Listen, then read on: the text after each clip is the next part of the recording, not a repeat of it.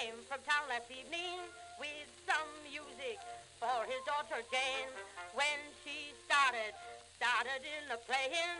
Gosh, I didn't get Farmer Brown thought surely that he'd go insane. The tune she played, well, it started him a dancing. He danced until he fell exhausted by her side. When he came to, he cried, Oh, darling daughter, tell me what you're playing. And then to him she replied, It's called the Reuben Rhyme.